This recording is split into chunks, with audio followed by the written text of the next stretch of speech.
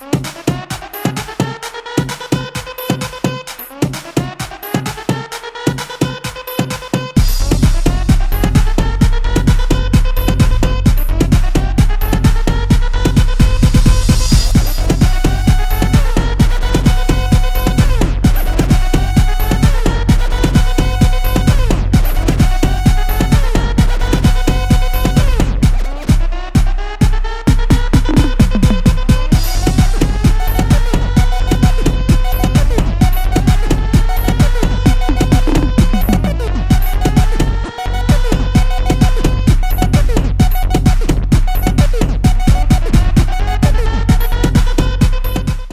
Bienvenidos a Hot Music TV desde la Gran Manzana con su servidor Rasta Descontrol con un proyecto totalmente diferente. Muchas gracias a ustedes, a Ceibavisión Canal 36.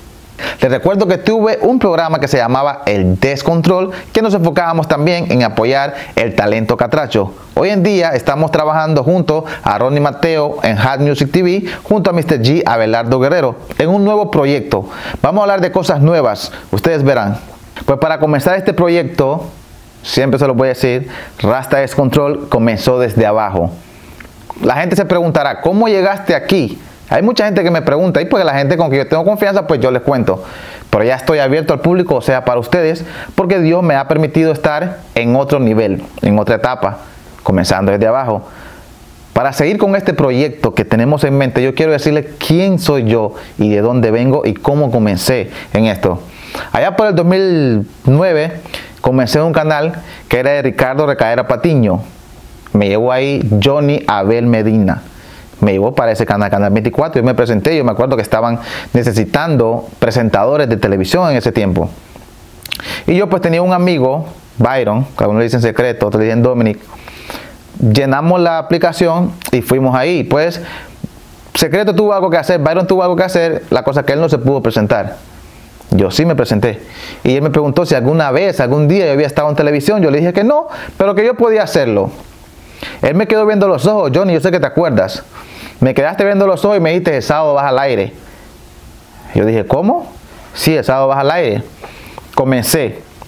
El programa se llamaba El Descontrol. Gracias a Dios y gracias a ustedes, el público, el programa fue un boom. ¿Ves? Me acuerdo que comenzó siendo una hora, luego se extendió a dos horas. Hubo un problema no sé qué clase de problema hubo porque fue un problema interno.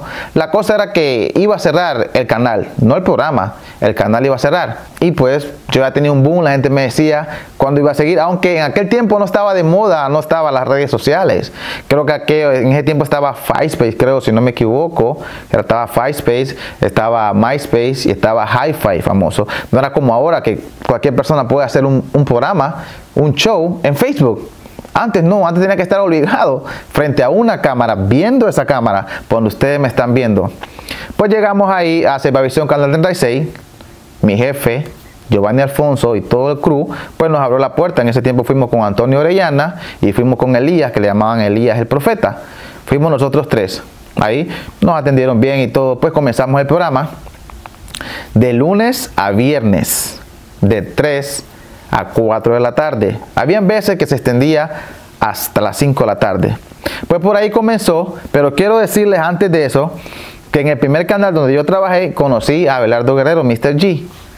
Le hice una entrevista, no podía hablar bien español, pero se la hice. Solo me quedaba viendo, me quedaba viendo, no me entendía bien, pero yo se la hice la entrevista ahí. En ese tiempo, si no me equivoco, creo que estaban llevando al artista Chabacán.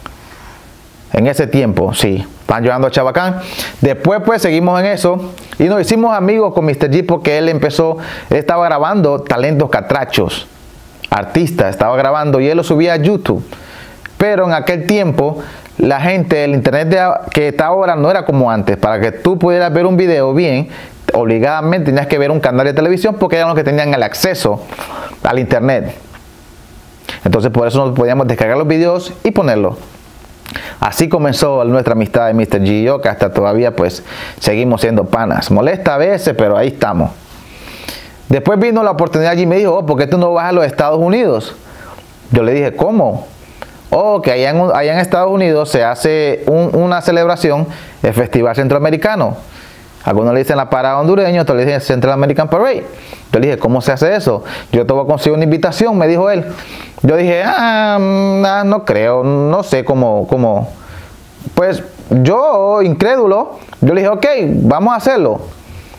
Pues G de acá, él viene a Estados Unidos, a Jesús Conecta, yo estoy en Honduras, yo lo dejo porque yo siempre lo he dicho, al tiempo de Dios todo. Pues yo me olvidé de Mr. G, Mr. G hablábamos, chateamos y todo eso, pero no me enfoqué en eso. Después resulta que él me dice, oh, mira, te va a llegar una carta.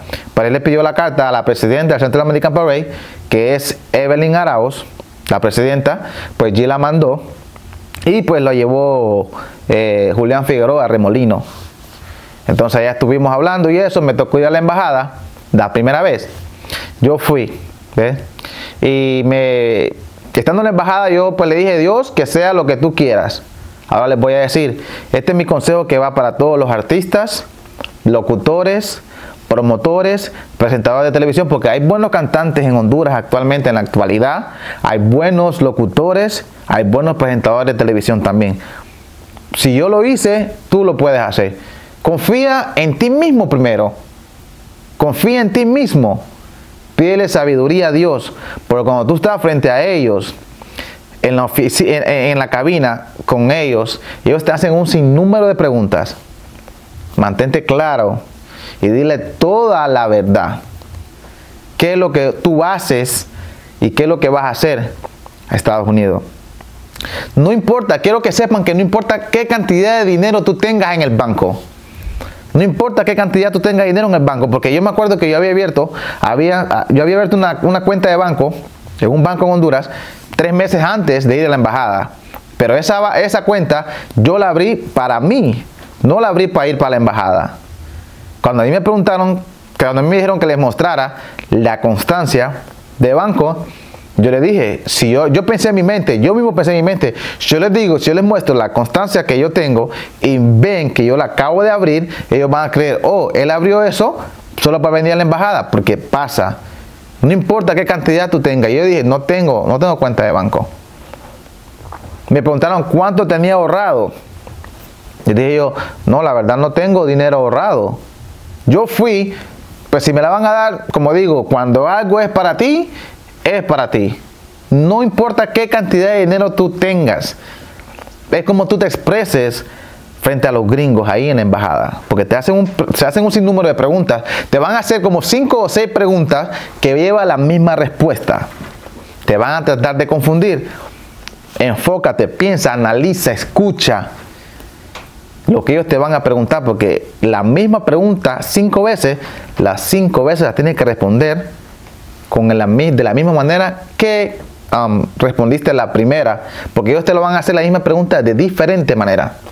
En fin, para todos ustedes que están en esto, no se den por vencido.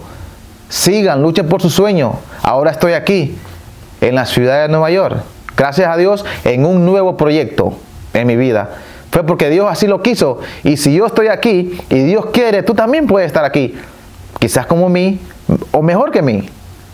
Es depende hasta dónde llegue tu mentalidad. Estaré siempre agradecido con todas las personas que se encargaron en mi crecimiento, en mi comienzo y en mi crecimiento. Tuve también una maestra, subía para estar a Peniel de Time to Remember, porque todavía sigue colaborando con Selvavisión Canal 36 y siempre me sentiré en casa. Gracias a Hot Music TV que estamos en conexión, gracias a mi jefe Giovanni Alfonso que nos permitió pues este tipo de proyecto. Visión, Canal 36, los amo a todos ustedes, toda mi gente bella de la ciudad bello, Puerto de la Ceiba, Honduras y todo el mundo.